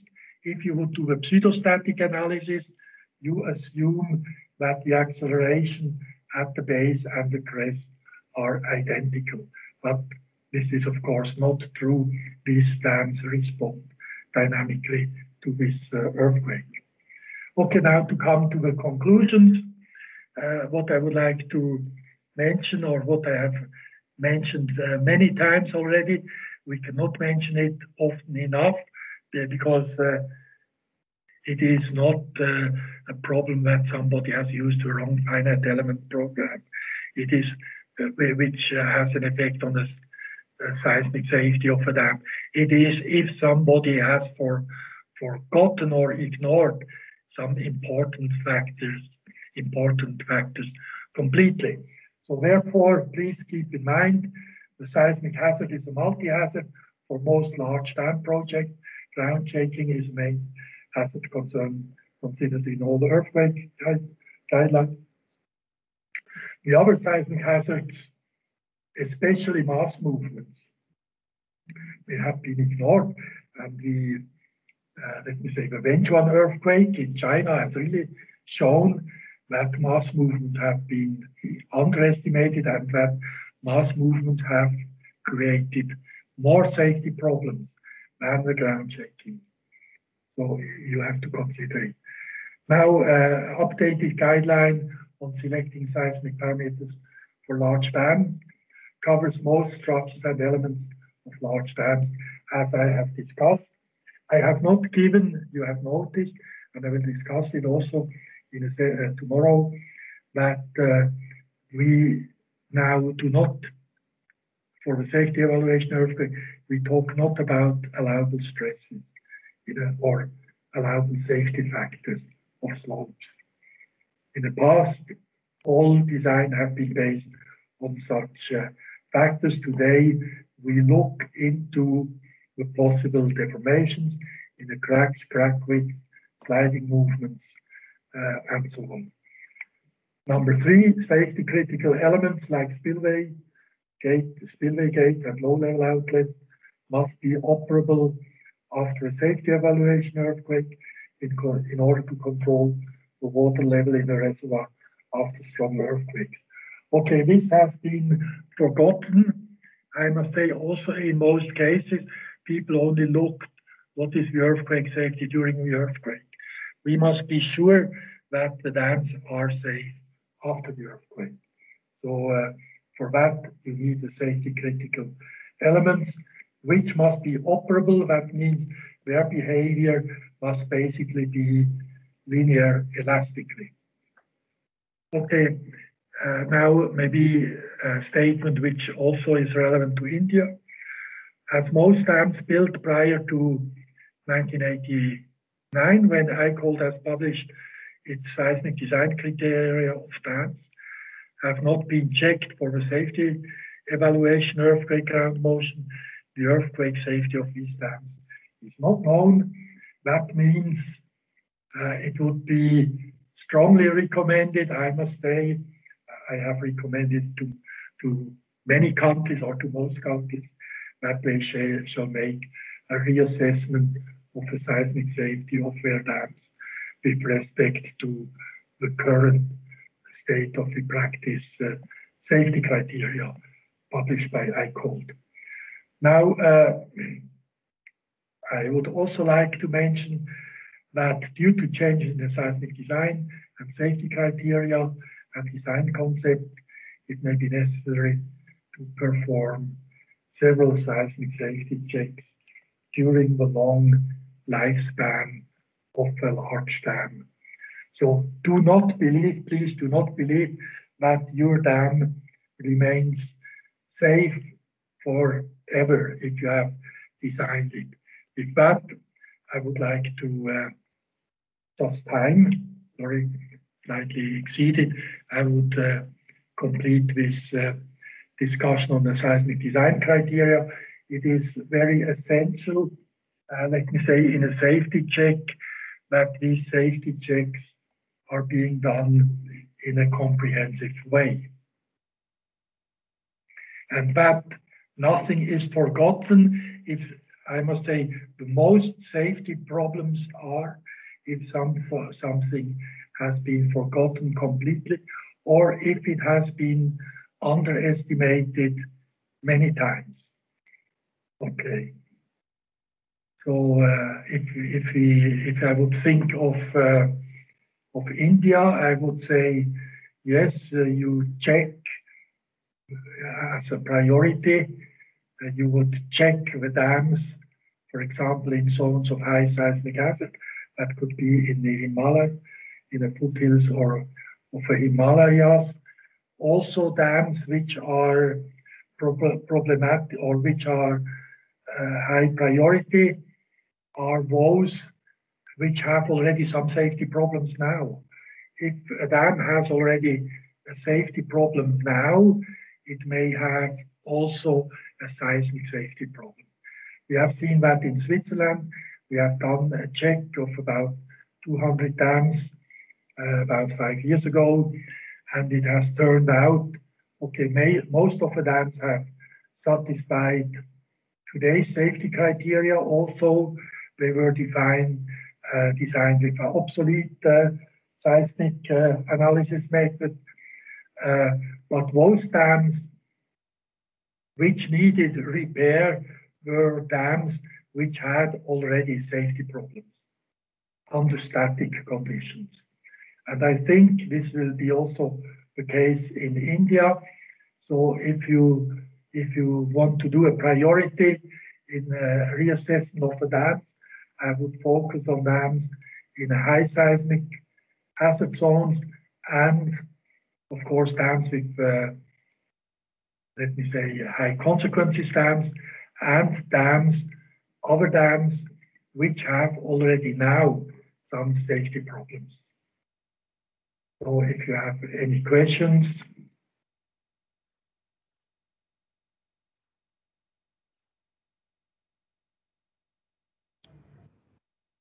Sir, one question. Uh, when we calculate the return period, then we take the life of the structure also. In uh, calculating one in 475 and one in 2500, we take the 50 years uh, the structure's life. Then uh, when we are calculating this OBE, it is 50% uh, occurrence probability in 100 years. So why this disparity? Because if you take 50% uh, probability in 100 years, then it comes 1 in 45. 145. So one uh, stage we take 50% life of, uh, sorry, uh, 50 years life of the structure and for OBE we are taking 100 years. Why it is so? Okay, I, I, I can distribute it. I, I, have written a paper once about uh, lifespan of dams. Okay, the lifespan of dams is not 100 years. It is also not 50 years. The lifespan of dams is basically as long as somebody takes care of his dams. In India, you have some dams which are 1,000 years old. So uh, you, you cannot say it is 100 years or 50 years. So if somebody maintains the dam well, and if uh, the reservoir is not silted up completely, that it, it can no longer be used, then the dam, the lifespan of a dam can be very long. It can be 100, 200, 300 embankment dams, uh, as in India, can be 1,000 years. So uh, this is just as a, as a, this 100 years, 50% exceedance in 100 years, this is just as a guideline. If we translate, if somebody wants to know why do we use 145 years return period. Now with uh, 475 years, this was introduced actually by a seismologist in the US. Uh, he, he said uh, a reasonable value is 10% uh, exceedance during 50 years. And that was for buildings, not for dams. Yeah. So therefore, with 475 years, basically have become the industry standard for seismic design of buildings and for uh, for bridges and other civil structures. So this has nothing to do with uh, with dams. but the, uh, the return period, you know, when I say appurtenant structures, you, you could use 475 years. It means you can use for the design of your pertinent structures, you could use your building design code. And in your building design code of India, you have for different types of structures, our house, for example, office building, residential building, you have so-called importance factors. And you would assign such importance factors. And if you define importance factors, basically their effect is nothing different than a change in a return period. If you have an importance factor of one, it is really a return period of 475 years if you have an importance factor of 2.5, this could uh, correspond to a return period of 2,000 years.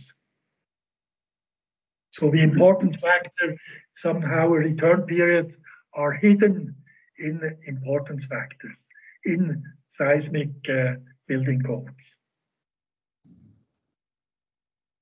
So you are not selecting, uh, let me say, for the dam, body and and the safety critical elements, you you consider only two earthquakes. That means the OBE and the SE, and their uh, definition has been given for the SE and for the OBE, a minimum value has been recommended. for the other structures, there you you can use your building code, as I said, if you do not have a, a specific guideline. But you, your safety, uh, seismic safety of the appurtenant structure of a dam project should not be less than the seismic safety of building projects. So that is uh, basically the conclusion. The, uh, the I don't know if it has answered some parts of your your question. Okay, yeah. sir. One more question. Sir, uh, we are using uh, generally three methods. Seismic coefficient method, uh, which is uh, now obsolete internationally, it is said, and uh, response spectra method and uh, time history method, dynamic analysis for dynamic analysis. So if we are going to construct a new dam, we should use the response spectra or time history? Well, okay, we have had this discussion also almost 20 years ago. We, we came to a conclusion for the dam, we should use uh, we, we should we should use time history analysis. Because if you use, for example, an arch dam uh, if you have a three-dimensional structure, uh, and if you use the response spectrum analysis, because the uh, response spectrum analysis, you have to do first uh, eigenfrequency analysis, and uh, you have to do, uh, you have to calculate the maximum dynamic response of each of these modes of vibrations and you would have then to to combine these maximum responses of all uh, of all modes and also of all directions and people are using what we call square root of sum square method and there are some other methods now if you do and if you have let me say a three-dimensional structure like a, an arch dam you have, uh, uh, if you look into a stresses, three-dimensional element, you have six stress components. Okay, you have you have uh, sigma x, sigma y, sigma z, tau xy, tau tau xz, and tau yz. So you have three shear and three normal stresses, and it and you get the maximum of these values. And if you have to combine now the maxima, let me say you have to take the maximum of sigma x, sigma y, if you, if you calculate the, uh, let me say, equivalent stress, maximum uh, dynamic stress. So you, you have six stress components and you have a maximum, but they may not occur at the same time. So therefore, if you take the maximum for 6, it gives 2 to the power 6. 16. It would give 64 uh, load combinations.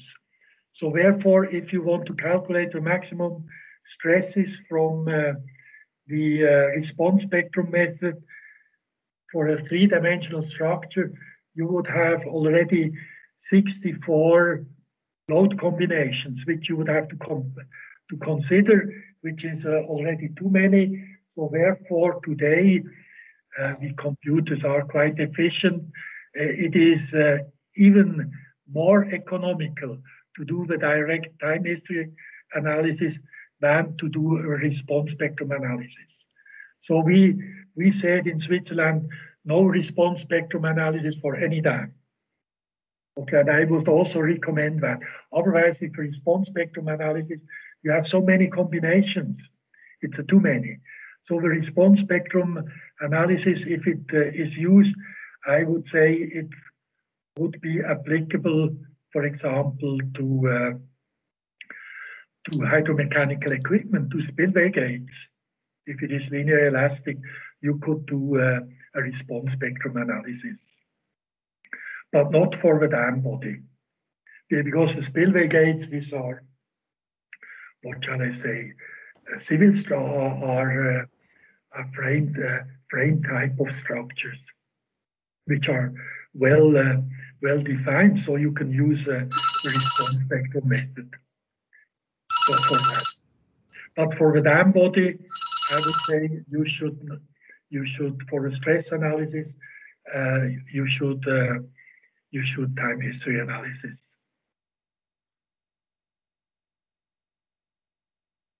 Okay, thank you. Uh, So Uh, I Dr. think, uh, Wieland, Yeah, uh, you have indicated that under SSE, we can carry out the uh, sort of rigid body stability analysis. And that requires to predefine the crack surface or crack plane where it will crack.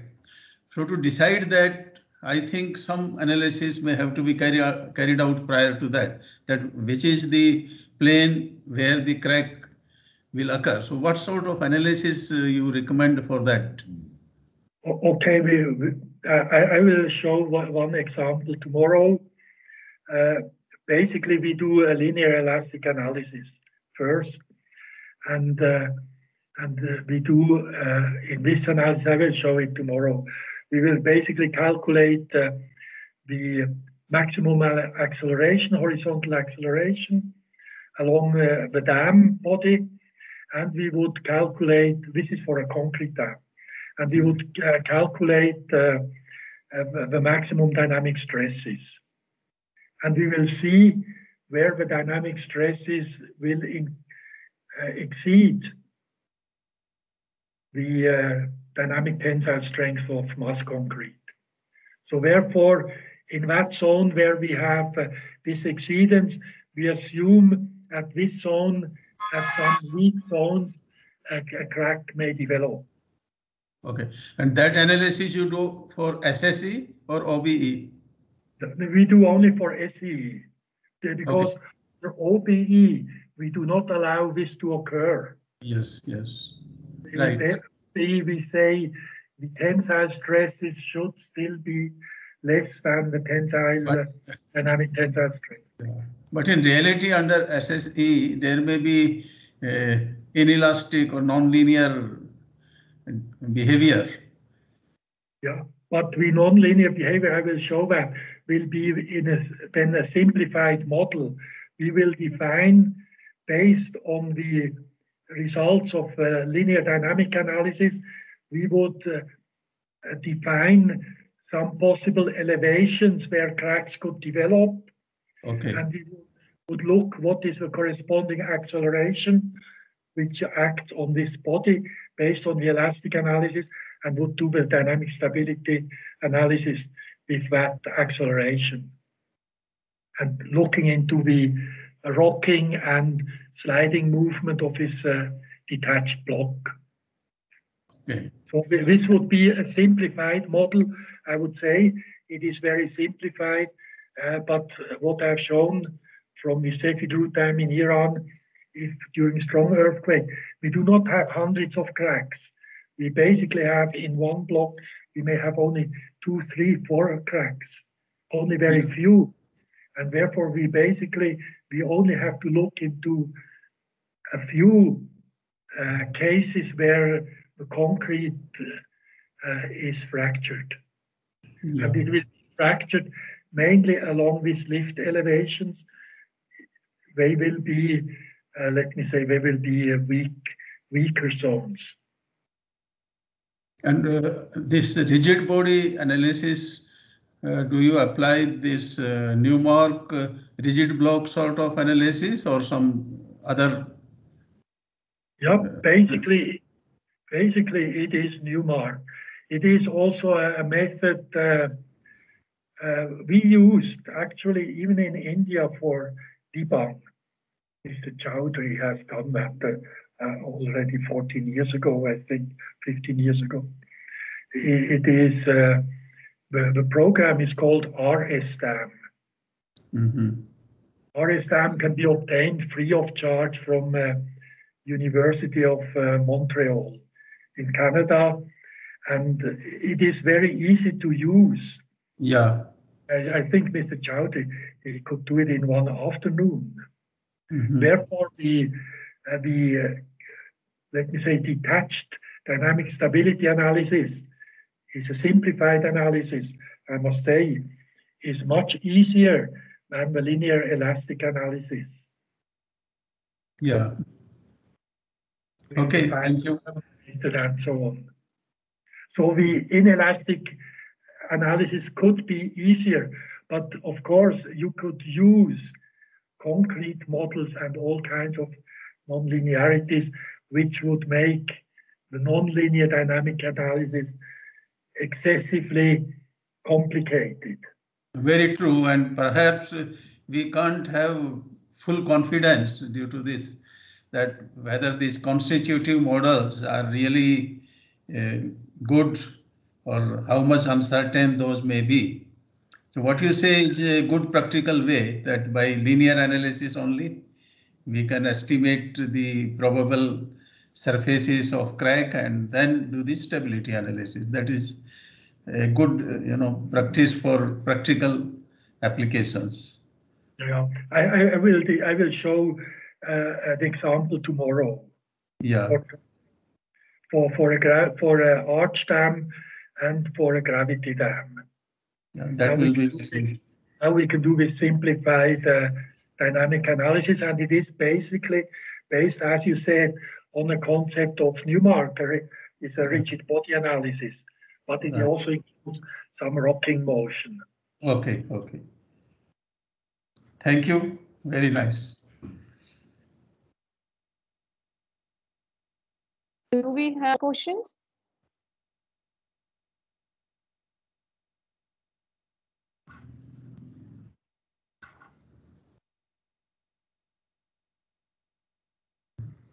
I guess no. So thank you, uh, Dr. Martin Wieland, and thank you to all the participants. Uh, see you all tomorrow, sharp 11 o'clock IST time.